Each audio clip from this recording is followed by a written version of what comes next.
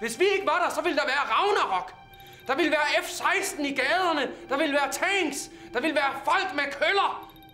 Hvis du kommer gående en almindelig søndag ned ad gaden, kommer gående forbi en lille port, lige pludselig står der en narkoman luder inde i porten med en sprøjte fyldt med AIDS. Hun kommer faren ud. Ja! Hvis du ligger der blødende med en sprøjte ud af halsen, så er det der, vi kommer ind i billedet. Der kommer ikke nogen ud af den port, vel? Fordi John Smith har været på pletten. Han har sørget for, at der ikke står en narkoman luder derinde med AIDS-sprøjten. Fordi hun ligger i detentionen og sover den ud. Vi er Danmarks skraldemænd. Jeg er der for Danmark. Det er mit liv. Det er det, der er vigtigt for mig. Jeg er for at beskytte dig som person.